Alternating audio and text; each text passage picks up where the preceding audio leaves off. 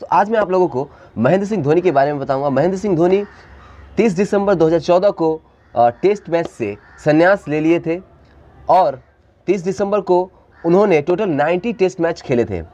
और हर एक प्लेयर का सपना था, सपना रहता है कि वो 90 टेस्ट मैच खेलने के बाद 100 टेस्ट मैच को पूरा करे, जो कि क्रिकेट क्रिकेट इतिहास में शामिल होता है। दोस्तों, बात था जब India versus Australia test match हो रहा था जब इंडिया ऑस्ट्रेलिया जाकर टेस्ट मैच खेल रही थी वो सीरीज़ हालाँकि इंडिया हार चुका था, लेकिन इस सीरीज़ में बहुत सी ऐसी बातें थी जो कि आज मैं आप लोगों को सामने रखूँगा। इंडिया वर्सेस ऑस्ट्रेलिया पहला टेस्ट मैच धोनी फिट नहीं थे, धोनी टीम से बाहर थे तो विराट कोहली उस टीम के लिए कप्तानी कर रहे थे। एडिलेड में फ़र्स्ट टेस्ट मैच खेला गया था और उस मैच को इंडिया हार चुकी थी। तब दूसरे टेस्ट मैच में एम एस धोनी फिट हुए और वापस आए। तो महेंद्र सिंह धोनी और महेंद्र सिंह धोनी की टीम दूसरे टेस्ट मैच में भी आ, उस सीरीज़ को हार गए। और जब तीसरा टेस्ट मैच हो रहा था मेलबॉर्न में तो वहाँ पे इंडिया को अपना इज़्ज़त बचाना था। उस देश को अपना इज़्ज़त बचाना था क्योंकि क्लीन स्वीप होने होने ही वाला था। लेकिन दोस्तों मैं आप लोगों को ये बता दूँ कि महेंद्र सिंह धोनी रविचंद्रन अश्विन अजिंक्य रहाने विराट कोहली चितेश्वर पुजारा इन्होंने अपने देश की मान इज़्ज़त को बचाई और क्लीन स्वीप होने से बचाया।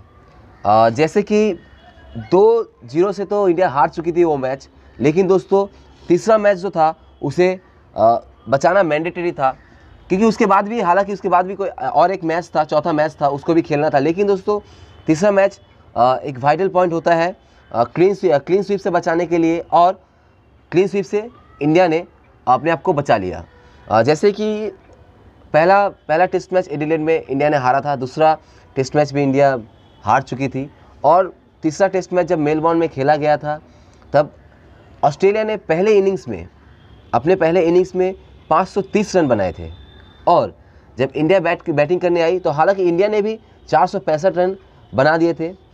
देखिए दोस्तों इंडिया वर्सेस ऑस्ट्रेलिया का जो टेस्ट मैच हो रहा था उनमें सभी का परफॉर्मेंस बहुत अच्छा था। दोनों ही देश बहुत अच्छे खेल रहे थे। हार जीत खेल में रहता ही है। आ, इसका कोई कैलकुलेशन नहीं होता है। लेकिन दोस्तों क्लीन स्वीप और क्रिकेट का इतिहास जो है वो थोड़ा सा इस कैलकुलेशन को रिकॉर्ड करके रखता है। इस इस कैलकुलेशन को दिखाता है। Year by year month by month लेकिन दोस्तों मैं आप लोगों को ये भी बता दूँ कि इंडिया वर्सेस ऑस्ट्रेलिया का जो टेस्ट मैच हुआ था वो बहुत ही बेहतरीन हुआ था। आ, उस टेस्ट मैच को देख के आ, सारे फैंस जो थे आ, बहुत ही आनंद उठाए।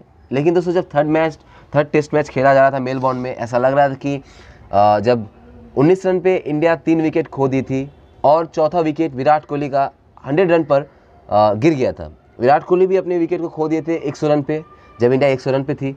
ऐसा लग रहा था कि इंडिया उस मैच को नहीं बचा पाएगी और शायद हो सकता है कि तीसरा तीसरा मैच भी हार जाए। तो दोस्तों, ऐसा लग रहा था, लेकिन तब आए महेंद्र सिंह धोनी। महेंद्र सिंह धोनी आए और वो बहुत ही आराम आराम से टेस्ट मैच को खेल रहे थे, तीसरे तीसरे टेस्ट मैच को खेल रहे थे और अजिंक्य रहाने भी आउट हो गए। तब आए रविचंद्रन अश्विन।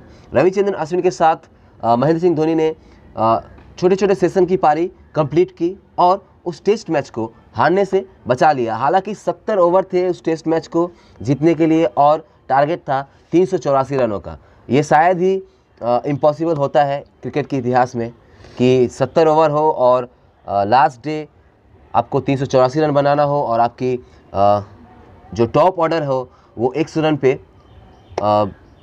लॉस्ट हो चुके हो। लेकिन दोस्तों महेंद्र सिंह धोनी इस मैच को बचा लेते हैं। लेकिन दोस्तों आप लोगों को मैं बताऊँ कि आ, ये तो था इंडिया वर्सेस ऑस्ट्रेलिया का जो सीरीज़ जो सीरीज़ कैलकुलेशन जो सीरीज़ स्टेटमेंट वो मैंने आपको आपके सामने रखा। लेकिन इस वीडियो को बनाने की जो मेन मकसद ही मेन मकसद थी मेरी तीस दिसंबर 2014 को महेंद्र सिंह धोनी टेस्ट क्रिकेट से संन्यास ले चुके थे।